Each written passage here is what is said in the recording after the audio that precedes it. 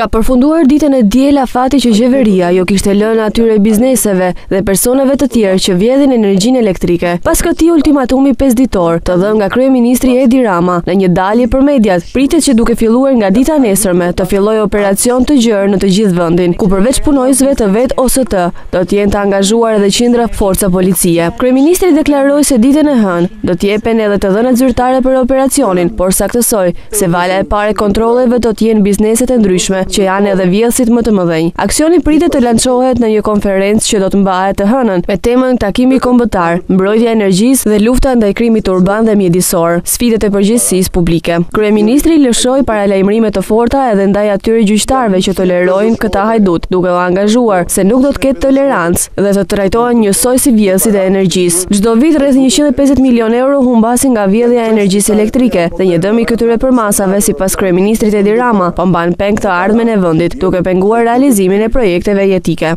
Nëse kush shkon dhe